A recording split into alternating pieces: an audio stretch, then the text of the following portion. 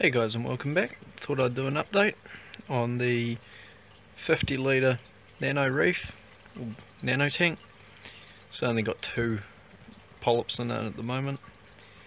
As you may see if you've been watching the videos for a while, I just acquired myself today another clownfish.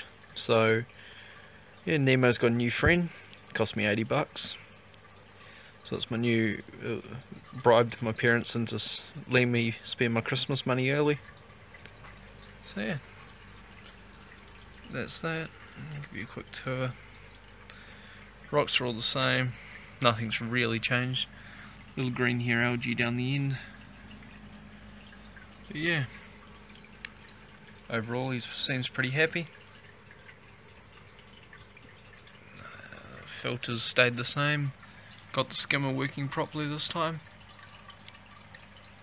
Tank's a bit low. I need to put some more RO water in there, do its top up. But yeah, if anyone's ever getting into marine, I recommend clowns. They're so active, so friendly, and they're, in my opinion, one of the cheapest fish you can buy marine wise. It's going to get a blue triggerfish for $190. But parents um, sort of said no, that's more than you can spend on Christmas present. So I've decided that, and yeah. The clowns obviously have paired up, so they seem they haven't fought, as the larger one will become the dominant female, and the smaller one will take the position of being the male.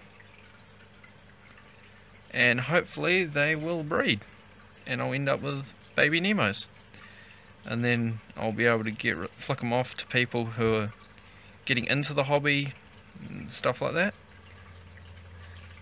So, thanks for watching guys, like and subscribe.